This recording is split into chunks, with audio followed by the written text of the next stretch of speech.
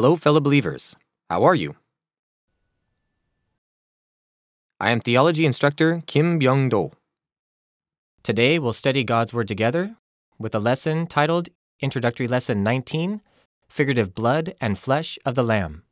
Let us first read together Revelation chapter 7, verse 14 as our main passage today. I answered, Sir, you know. And he said, These are they who have come out of the great tribulation. They have washed their robes and made them white in the blood of the Lamb. It says that their robes were made white by being washed in the blood of the Lamb, according to our main passage. But if the blood of the Lamb mentioned here was a physical blood, the robes washed in it would turn red, not white, since the blood of the Lamb is also red. Therefore, we can see that the blood of the Lamb described in our main passage means something spiritual, not physical. Furthermore, the robes that are made white by being washed in the blood would also mean spiritual robes, not physical robes, right?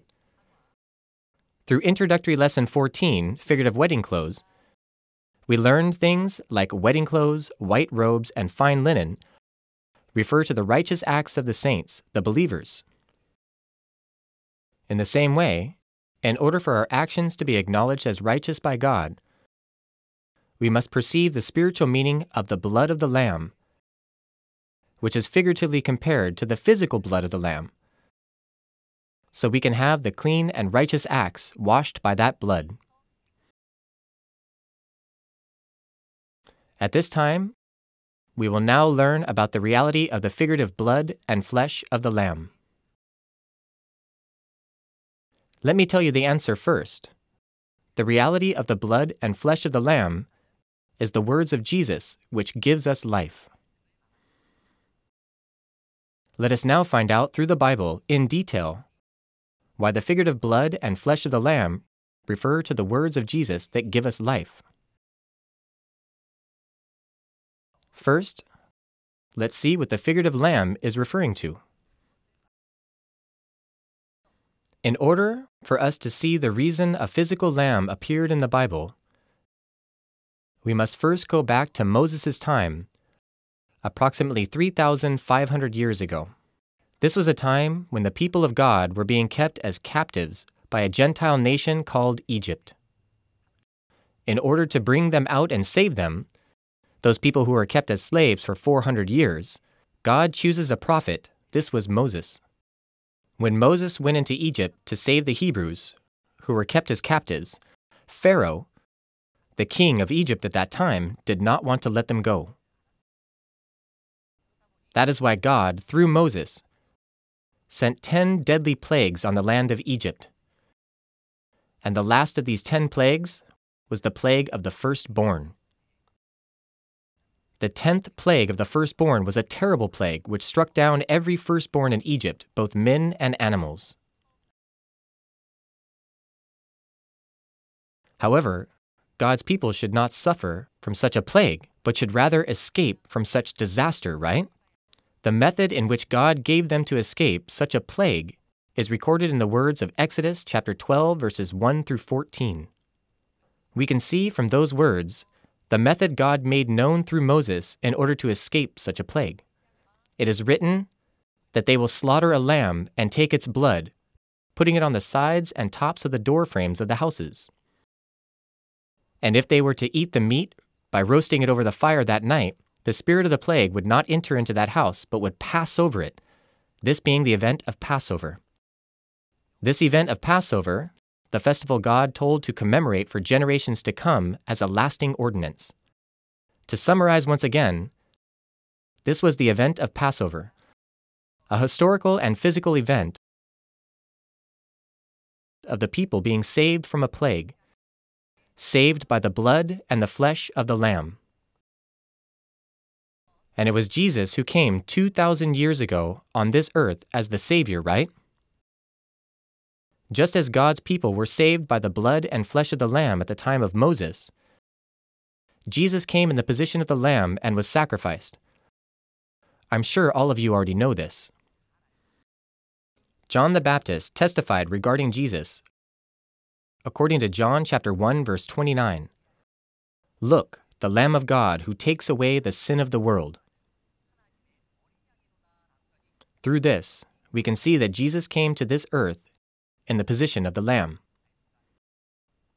Jesus is also referred to as a lamb in 1 Corinthians chapter 5 verse 7. Let us read it together. Get rid of the old yeast, that you may be a new batch without yeast, as you really are. For Christ, our Passover lamb, has been sacrificed. As we've just read, it is written that our Passover lamb, Christ, has been sacrificed. Therefore, we can know that Jesus came in the position of a lamb, the Passover lamb, and that he was sacrificed. So, the reality of the figurative lamb is Jesus.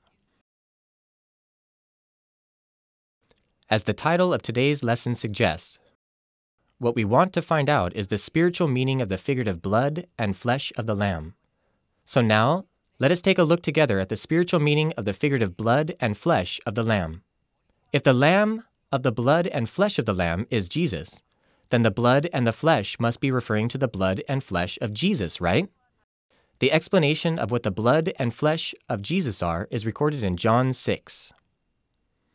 The content of John 6 is regarding the miracle of feeding 5,000 with five loaves of bread and two fish.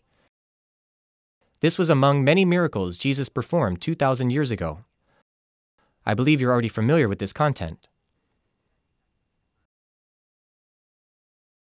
After Jesus performed this miracle, Jesus withdrew from them, knowing that they had begun to call him the prophet and wanted to make him king by force to the crowd that followed him. Even after Jesus withdrew from them, he said they were looking for him not because of the miraculous signs, but because they ate the loaves and had their fill. So we can see that the content of John 6 is regarding Jesus' rebuking of the crowd that followed him to gain physical food. Then, Jesus said, according to verse 27, Do not work for food that spoils, but for food that endures to eternal life. The food that spoils, mentioned here, refers to the physical food that we must eat in order for our physical bodies to live. And the food that endures to eternal life, mentioned here, refers to the spiritual food we must eat for our spirits to live. We have already taken a look at the meaning of the spiritual food which is compared to physical food. In Introductory Lesson 5, Food at the Proper Time. We've learned that there is physical food that we eat with our mouths, and there is spiritual food that we eat by hearing with our ears, which refers to God's Word, right? Therefore, Jesus was explaining through this verse that we have to follow Jesus to attain the Word, our spiritual food. Then, who gives this food that endures to eternal life? As it says at the end of verse 27, the Son of Man is the one who gives this food.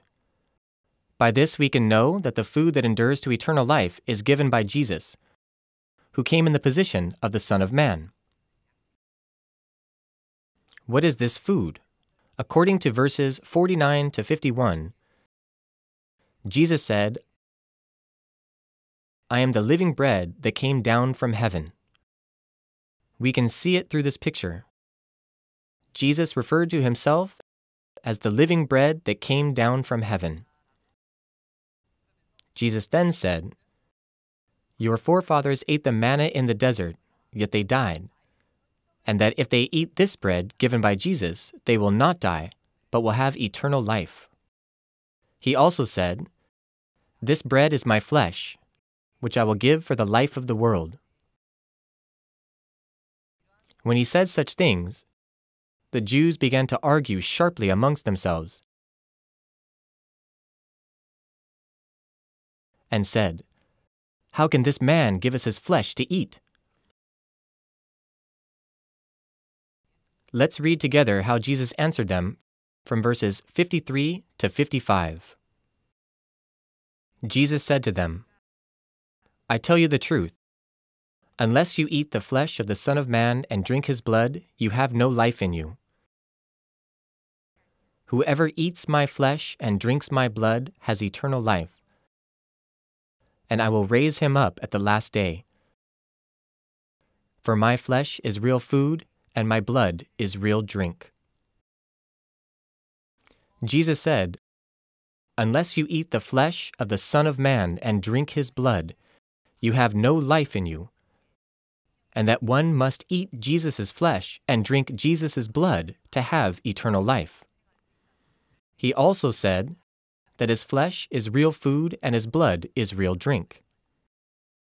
So we can see the real food that we must work for is the flesh and blood of Jesus. To summarize once again, Jesus is the living bread that came from heaven.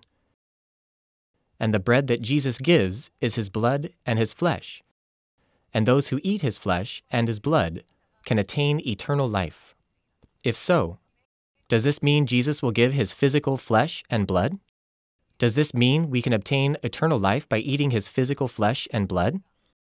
This is something we should think about, right?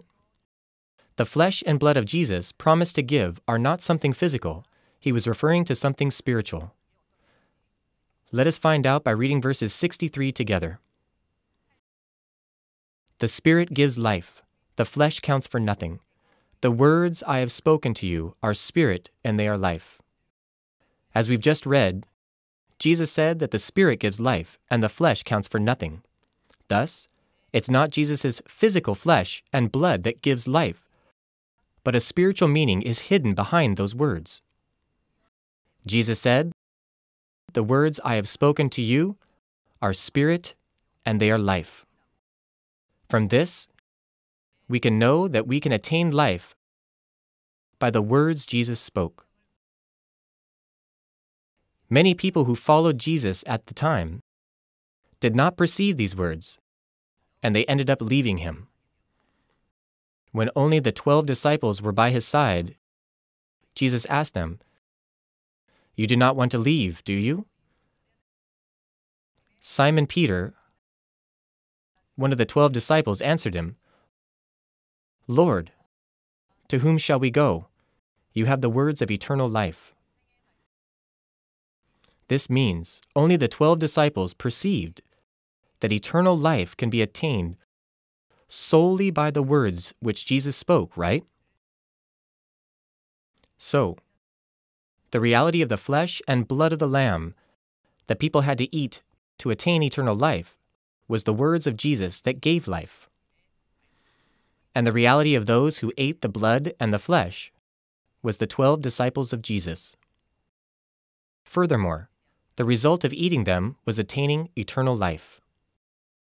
If we are also the believers whose hope is in heaven, salvation, and eternal life, then we must also become those who eat the food of eternal life, the flesh and the blood of Jesus, just as the 12 disciples of Jesus did, right? What was the food that the disciples ate 2,000 years ago?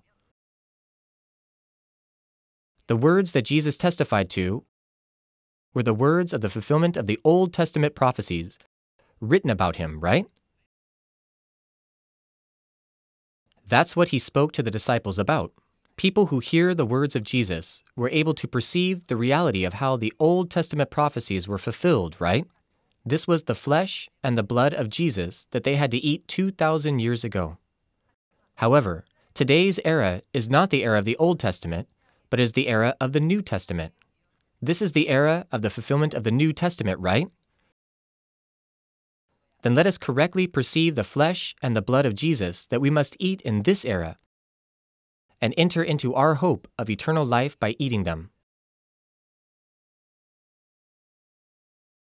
Jesus, who gave life to the world through his blood 2,000 years ago, also gave us a new covenant. In Luke chapter 22, verses 14 through 20, there is a story about the night of Passover when Jesus gave the new covenant. Jesus gave the new covenant to his disciples through his blood and said, I have eagerly desired to eat this Passover with you Then he said he would not drink again of the fruit of the vine until the kingdom of God comes, until the fulfillment of the kingdom of the Father. This means that there was a Passover food to be eaten 2,000 years ago, the flesh and the blood of the Lamb. And there also is a Passover food to be eaten again, the flesh and the blood of the Lamb, when the kingdom of God is fulfilled and when it comes. Then Jesus gave bread and wine to the disciples, and told them to do the same in remembrance of him. The wine and the bread here are referring to the physical food, not the true Passover food of the flesh and the blood of the Lamb. Therefore, we can see that there is an era to keep in remembrance, and there also is an era when the fulfillment of the New Testament prophecies, the Passover food that we must eat again, appears. Then those who eat it will also appear. So then, what is the Passover food that we must eat in today's era? In Matthew chapter 26, verses 26 through 29, the same content of Jesus' new covenant appears as we've seen in Luke chapter 22. Here, Jesus promised that we will eat something new in the Father's kingdom. As it is called new, it is not something that was eaten before, but something new, right? The flesh and the blood of the Lamb that the disciples ate 2,000 years ago were the words of Jesus which give life. More accurately, this means that they perceived Jesus' words of testimony of the fulfillment of the Old Testament prophecies. If so, in the New Testament era, we must perceive the words of the fulfillment of the New Testament prophecies, right? Now, let us find out the Passover food that we must eat today the flesh and the blood of the Lamb. What is recorded in Revelation chapter 2 is the manna that we must eat in today's era. Let us read Revelation chapter 2, verses 17, together and find out what kind of process Jesus takes to give the true bread, the flesh and the blood of the Lamb. He who has an ear, let him hear what the Spirit says to the churches. To him who overcomes, I will give some of the hidden manna I will also give him a white stone with a new name written on it, known only to him who receives it. These are Jesus' words that we have just read. Jesus promised that he will give the hidden manna to the one who overcomes.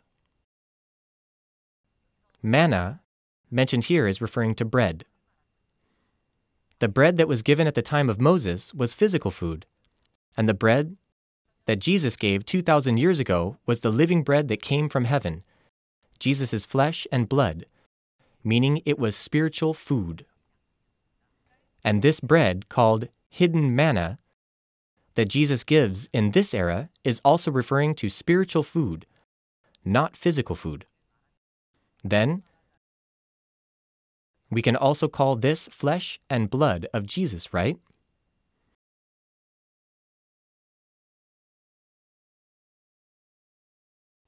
What is this hidden manna that we must eat in today's era? The flesh and the blood of Jesus.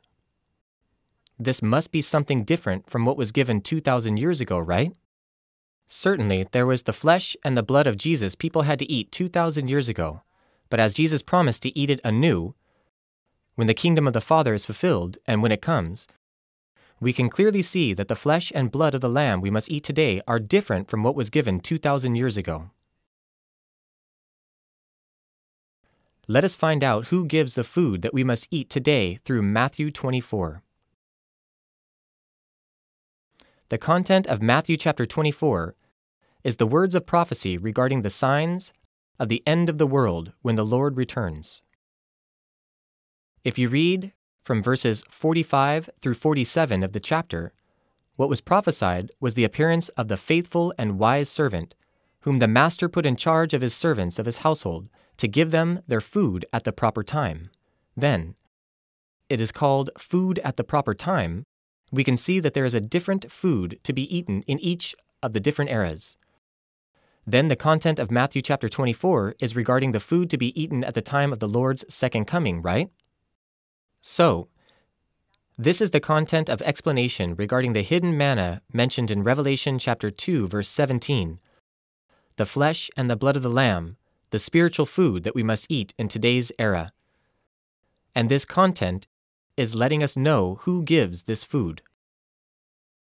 Then, we must correctly understand who the faithful and wise servant is, the one who gives the food at the proper time, which is the flesh and the blood of the Lamb that we must eat to attain eternal life. And we must meet this faithful and wise servant and eat the food at the proper time, the flesh and blood of the Lamb, and attain eternal life. Wouldn't this be the believer who received the greatest blessing? Then who is the faithful and wise servant? In Revelation chapter 1 verse 1, it says, "The revelation of Jesus Christ." This means that the words of the book of Revelation are not revealed by Apostle John, but by Jesus, right?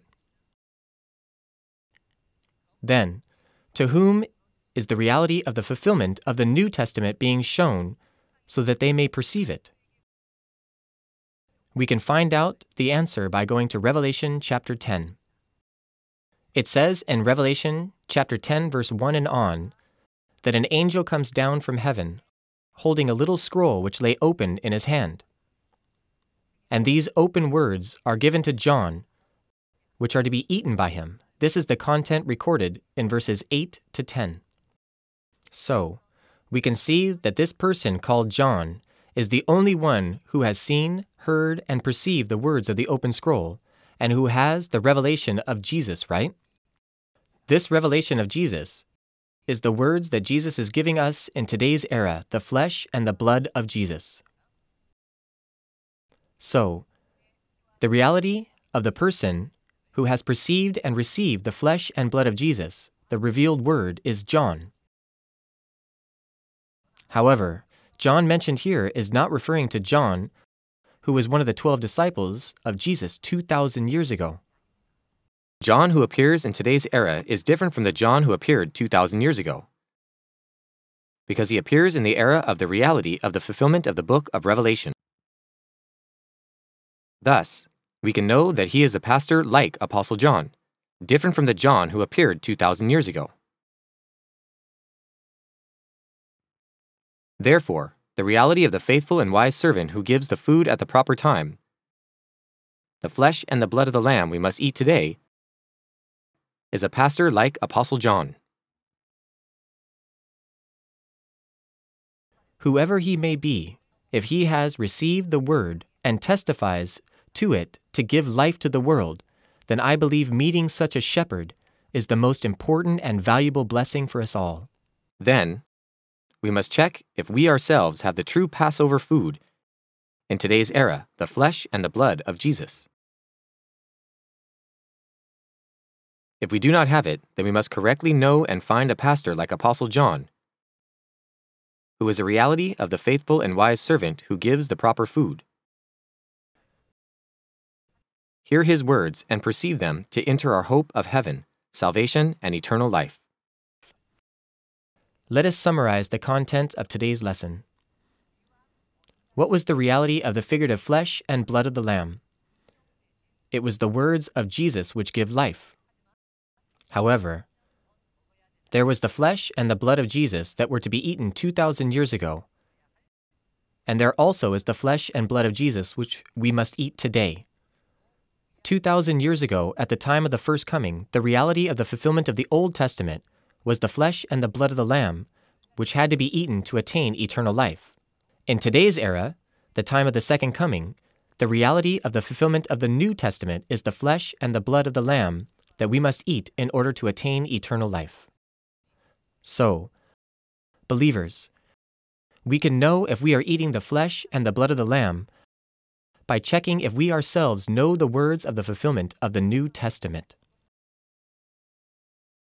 If you do know such content, then you can be someone who can eat of it and have eternal life. But if you do not know it, then you may be someone who has nothing to do with eternal life, right? Then, we must not be in the same position as the crowd of people who left Jesus 2,000 years ago, but must be in the same position as the disciples who correctly perceive the Word to attain eternal life. We'll finish today's lesson here. Next time, we'll learn about the figurative wine and olive oil through Introductory Lesson 20.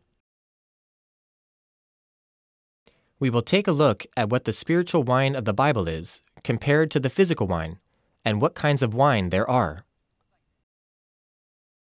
We will have a time to correctly perceive the reality of the wine that we must drink in today's era. Also, through the lesson of the figurative olive oil, we will find out what the lamp and the oil are that we must prepare in order for us to be in the position of brides to accept Jesus, who is the bridegroom. I pray in the name of Jesus for you, please perceive all the words perfectly and seal God's secrets in your hearts, reaching heaven, salvation, and eternal life. We'll finish today's lessons here. Thank you. If one does not know the secrets of heaven, the parables, he will not be forgiven and will become a person on the outside. This era is not the era of speaking figuratively, but the era of knowing plainly. This is the time of harvest. Those who are harvested are the sons of the kingdom of heaven. Those who are not harvested and who remain in their churches are the sons of the devil. Let us become those who are saved by believing according to what is promised.